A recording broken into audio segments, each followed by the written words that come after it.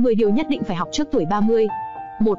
Khi còn trẻ, bạn phải đầu tư vào bản thân và sau đó, biến những kỹ năng mình có được thành lợi nhuận, bởi mỗi người chúng ta đều có một nhãn giá trên thương trường cuộc sống. 2. Có thể tôi chỉ là một đứa ngốc trên lớp khi so sánh với người khác. Tuy nhiên, sự kiên trì và bền bỉ sẽ vượt qua tài năng. Nhớ rằng, đời là một cuộc chạy marathon, không phải là cuộc đua nước rút 100 mét. 3. Luôn luôn ưu tiên và hiểu cái gì quan trọng, cái gì không. Hãy viết kế hoạch một năm, biết bản thân cần gì, chia nhỏ công việc và tận tâm tận lực theo đuổi nó cho đến khi đạt được mục tiêu.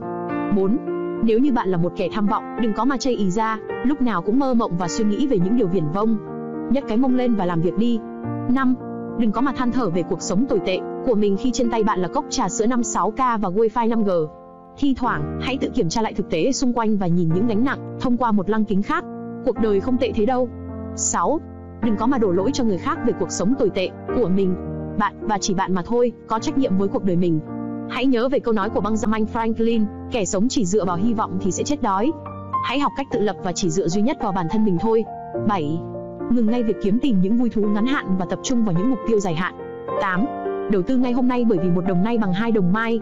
Ngoài ra, hãy hiểu rõ sự khác biệt giữa của cải và gánh nặng. Thà bụng đói đi ngủ còn hơn là nợ nần khi dậy. 9. Tiền có thể không mua được hạnh phúc nhưng nó mang lại sự an toàn và thoải mái. 10. Gia đình là quan trọng nhất và chúng ta không nên làm tổn thương những người mà ta yêu quý.